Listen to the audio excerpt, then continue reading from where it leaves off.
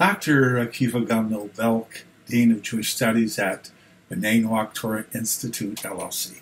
Welcome. Welcome to the 2016 Bible Journeys Calendar Discovery. um, dear ones, we're in October, uh, the third week. That's the 18th of October through the 24th. And um, in a minute, we'll go to a cutaway so you can see the calendar and we'll have a outlined rectangular box around the third week. And uh, if you look over on the far right hand side, under Shabbat, that's the 24th, you'll notice that we have several uh, listings there. One says uh, Gad ben Yaakov, the other says uh, Hanuk ben Yared, and then we have um, uh, uh, Noah enters the ark, and then we have Rachel Amuna, and uh, Benjamin ben Jacob. Okay, so let's go to the cutaway so you can see what the calendar looks like, and then we'll come back and briefly talk about each of these uh, topics.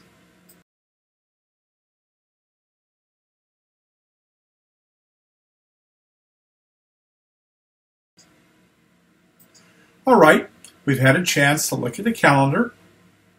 We recognize that uh, when it says uh, Gad ben Yaakov, it's talking about Gad, the son of Jacob or the son of Israel. This is the day that he was born, and this is the day that he passed away. Our sages teach that righteous individuals uh, they are, are, born and die on the same day, and so we recognize, recognize that also with Rachel and Benjamin uh, that were also born on this day and, and passed away on this day. When we see Hanuk ben uh, Yered, uh, Hanuk is the father of uh, Methuselah, and Methuselah uh, lived to be 969 years old.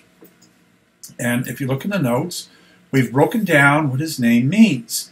We have uh, Mat, which means death, to uh, die, and then we have Shla'ak, means to send. And in between Mat and Shla'ak is the, the letter Vav. And so what we have is we have on one side death and we have sending on the other side, and the Vav in the middle connects them together. And so we recognize that what is being said is when this child dies, destruction comes. When we look at uh, the uh, other listings, we see that Noah, uh, his wife, Naamah, and his three sons and their wives and all the animals entered into the ark on this day. And uh, it says that in another seven days, that the Lord would bring water upon the earth, and it would begin to rain for 40 days and 40 nights. So uh, we have to ask this question well, why were they waiting in the ark for seven days? And uh, this, the answer is, is they were sitting Shiva. They were mourning for the death of Methuselah. And uh, we are told that the angels of the heaven mourned, and that the Lord himself mourned, and that Noah and his wife and his three sons and three daughters, that everyone mourned the death of Methuselah. He was a very righteous man. And so we see the prophecy in his name. When this child dies, destruction comes after the seven days of mourning. And of course, they were mourning for all the people that would die, that would never have the, the uh, opportunity to enter into Gan Eden into the Har Shamayim, that their memory would be erased forever because they were sinful and vile and evil. They despised God, they cursed God. They said, In your face, and they had no repentance in their heart, and that they were uh, sinning uh, evil, e- evil and, and doing wrong continually all day long. So they, they died, they perished, and their memory is gone forever. And then we have uh, Rachel Amuna. Amuna means our mother. so there's uh, Rachel and uh, Leah and Rachel, and and uh, they're known as the matriarchs, and so we call Rachel Imuna, Rachel our mother.